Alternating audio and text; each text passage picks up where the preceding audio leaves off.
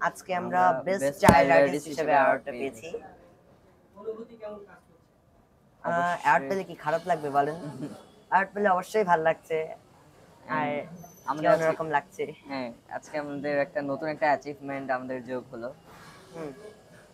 বর্তমানে আপনারা কি নিয়ে ব্যস্ত আছেন?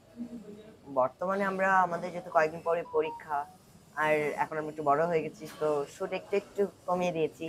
আর এমনি আমরা চারটা পাঁচটা ওয়েব সিরিজ কানাগলি আলাদা দশটি ছেলে। দুরন্তর একটা ওয়েব সিরিজ তারপর চরকির একটা ওয়েব সিরিজের শুট এখনও চলছে এটা হচ্ছে গুলমোহর। হ্যাঁ আর এশা মার্ডার নিয়ে ব্যস্ত আছে। Esha murder operation jackpot. হ্যাঁ।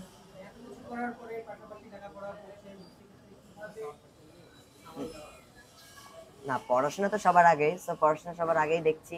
পড়াশোনা করে যতটুকু সময় ফ্রি টাইম পাচ্ছি হ্যাঁ। ততটুকু সময় শুট করছি আর বেছে বেছে কাজ করছি।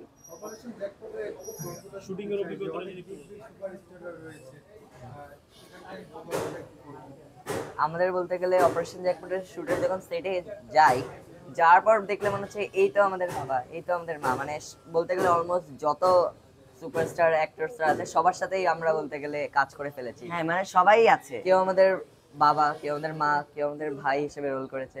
তো সবাই আর এখানে. এত এত ক্যারেক্টার মানে সবার আর কি স্ক্রিনিং কম। আর ও এখানে একটা স্পেশাল ক্যারেক্টার করছে। বাবার ক্যারেক্টার কে? যে আছে হ্যাঁ? বাবার ক্যারেক্টারে কি আছে?